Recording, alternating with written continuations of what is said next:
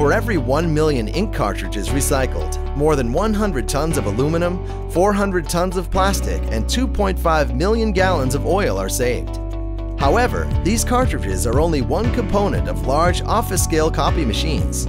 These office tools can be salvaged for elements, such as metals, plastics, and glass, to be later repurposed and recycled.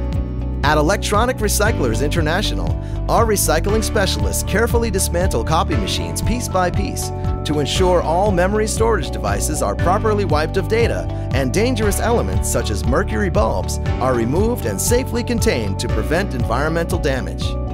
Once these components have been removed, ERI shreds the remainder of the machine, breaking it down into raw commodities which are then sent to our downstream partners for recycling and reuse the nation's largest recycler of e-waste will responsibly recycle and repurpose your old devices.